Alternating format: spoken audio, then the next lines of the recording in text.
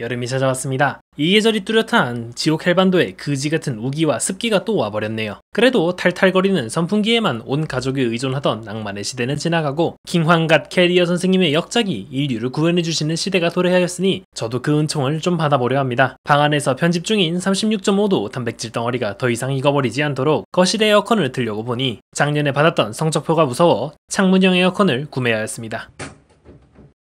근데 이거 왜 안 맞냐? 아이씨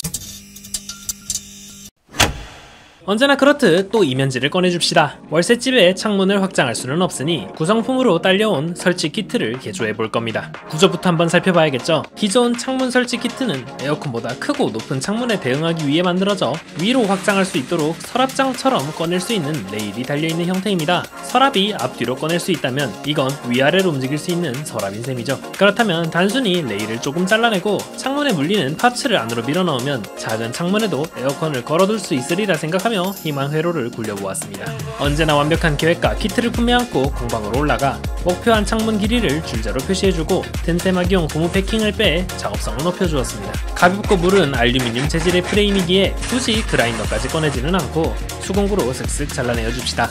한쪽을 썰어보면 이런 식으로 밖이 아니라 키트 안쪽에 창문 결합용 파트가 들어가는 구조가 될 겁니다. 반대쪽도 똑같이 길이를 재 썰어내주고 분해해두었던 부분을 끼우려 하니 좌우 길이가 안 맞는군요. 원래 바깥에 있던 parts다 보니 틀보다 작게 양옆을 썰어내주고 기존 키트의 안쪽 결합부도 드레멜과 줄을 통해 갈아내어 창문 크기에 맞춰주었습니다. 이제 잘라내준 홈에 맞춰 조립을 하고 빼주었던 고무를 다시 끼워주면 얼추 윤곽이 드러나기 시작하니 작업을 진행하기 이전에 창문에 한번 달아보았습니다.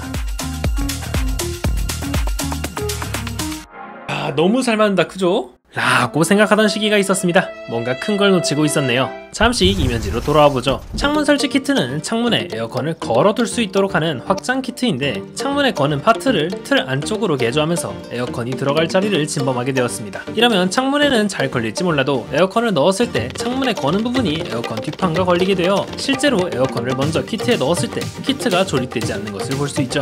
뭐 별 수 있겠습니까? 일단 에어컨 등짝을 뜯어서 간섭되는 부분을 썰어내고 재조립하여 한번 맞춰보면 헤헤이 잘못 썰었네가. 한칸 있는데. 다시 잘라내고 이번엔 그냥 조립하기 전에 틀에 먼저 한번 조립해 보았습니다. 위치는 대충 맞는 것 같으니 알루미늄 프레임도 더 가공해줘야겠죠. 잘라낼 수 있는 부분까지 톱질을 열심히 해주고 그래도 튀어나온 부분은 그라인더로 갈아내어 길이를 맞춰주었습니다. 창문에 조립하기 전 마지막으로 테스트를 해주고 본격적으로 창문에 설치해 주겠습니다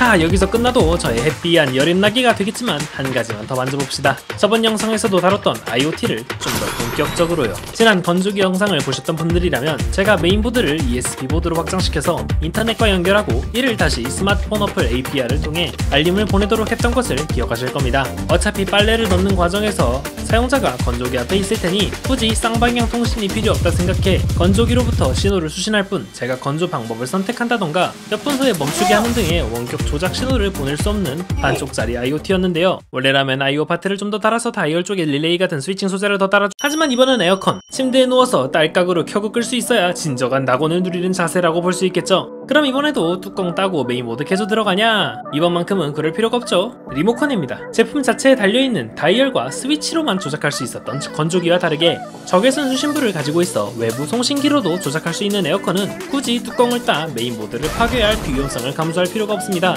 이 리모컨을 IoT화하면 되는 것이죠. 그리고 리모컨조차 뚜껑을 따지 않아도 됩니다. 어차피 리모컨의 역할은 앞에 달린 적외선 송신기로 미리 저장된 정보를 송신할 뿐 큰 기능을 가지지 않거든요. 이 둘을 다른 방법 으로 구현할 수 있다면 굳이 기존의 리모컨 틀에 갇히지 않아도 된다는 뜻인 거죠. 부품통을 뒤져봅시다. 어디선가 떨어져 나온 적외선 송수신기 모듈을 가져와 매뉴얼을 뒤져보며 해당 제품의 핀 배열 정보를 찾아주고 이를 테스트보드에 물려 에어컨 리모컨의 송신 정보를 가져와주면 적외선 송신기와 리모컨에 저장된 정보 두 가지를 추출해낼 수 있겠죠. 프로토콜을 알 수 없어 언노운으로 뜨긴 하는데 정보를 추출함에 있어서는 큰 상관은 없을 테니 이대로 저장하고 한번 작동해 보겠습니다.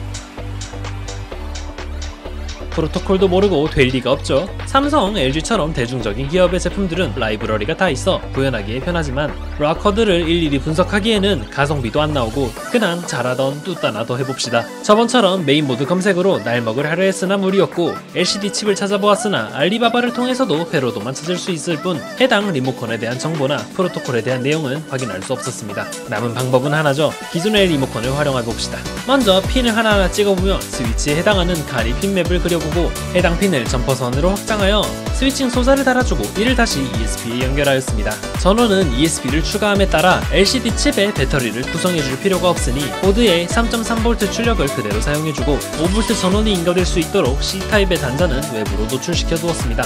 이제 확장 보드에 맞게 리모컨을 가공해주고 가상의 신호를 받았다고 가정하고 테스트를 해보면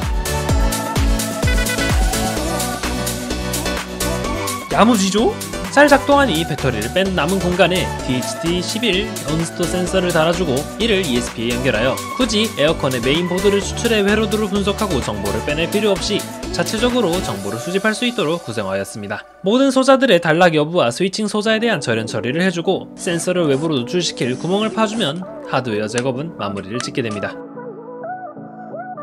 언제나 그렇듯 컴퓨터와의 진솔한 대화를 나눠줘야겠죠. 와이파이와 연결 확인, 송수신 신호 토픽 구성, 알고리즘 설계 등을 끝마치고 스마트폰에서 MQTT 어플을 통해 조작 스위치들과 상태 메시지창, 온습도를 확인할 그래프들을 구성해주고 나면 샘숭도 부럽지 않은 스마트 창문형 에어컨 완성입니다.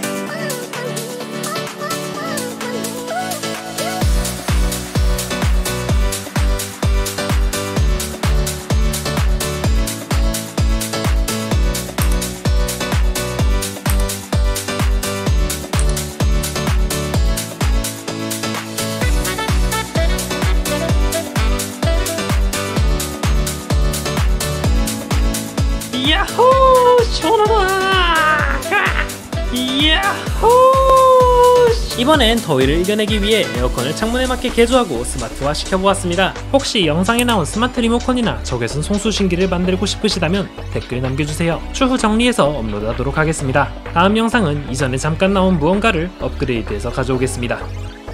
실리였습니다